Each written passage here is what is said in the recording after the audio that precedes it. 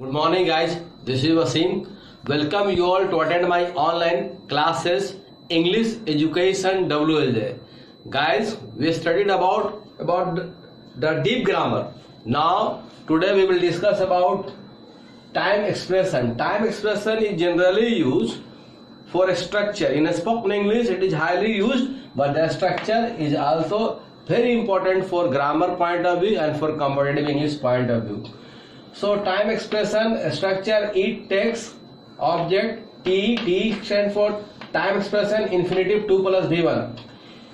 Structure का हम तब यूज करते हैं जब किसी काम में हमको समय लगता है कोई काम करने में आने में जाने में खाने में कोई काम करने में कोई कोर्स करने में नहाने में जो समय लगता है उसको हम लोग इस तरह से एक्सेप्ट करते हैं यहाँ ईट सिंगर इसीलिए टेक्स लगा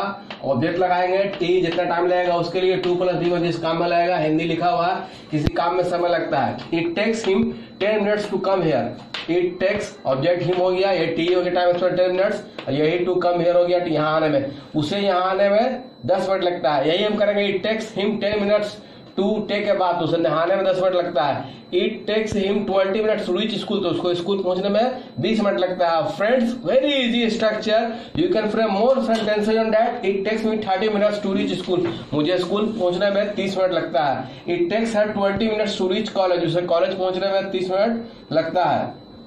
बीस मिनट लगता है it takes one more than three years to graduate from M U किसी को मगध यूनिवर्सिटी से ग्रेजुएशन करने में तीन साल से ज़्यादा का समय लगता है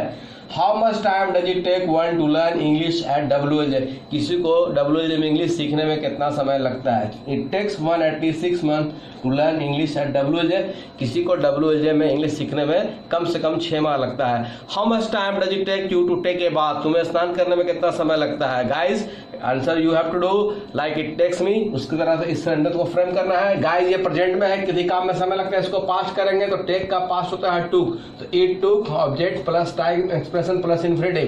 हम इसका मीनिंग लेंगे तो किसी काम में समय लगा या किसी काम में समय लगता था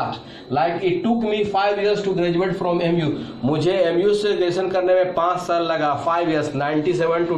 two it took her two years to adjust there उसे वहां एडजस्ट होने में दो साल लगा it took him four years to complete B Tech उसको बीटेक कम्प्लीट करने में चार साल लगा जनरली चार साल का ही कोर्स है it took them fifteen hours to reach Delhi उन्हें डेली पहुंचने में पंद्रह घंटे लगे how much time did it take you to gain दिन गेन इन दिस एक्सपीरियंस आपको यह अनुभव प्राप्त करने में कितना समय लगा है you have got a very good teaching skills and experience how much time did it take you it took me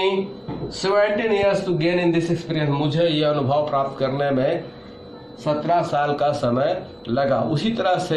how much time did it take you to become C A एक chartered account बनने में आपको कितना समय लगा it took me five years मुझे पांच साल लगा चार्टर्ड अकाउंट बनने में friends this is very important structure we use in our daily life किसी काम में समय लगता है इट टेक्स और किसी काम में समय लगा it to guys hope you stood it if you stood it please subscribe my YouTube channel English education W L J we will bring you more structures tomorrow thank you and have nice to work